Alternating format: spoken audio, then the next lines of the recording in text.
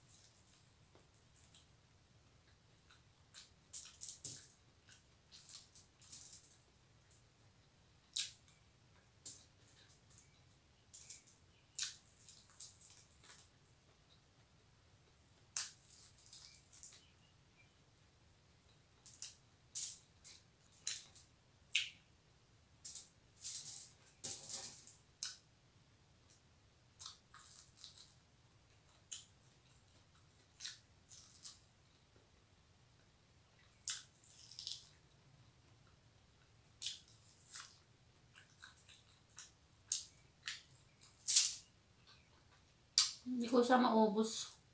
Guys, hindi masarap. Trinay ko lang. Hmm, sayang.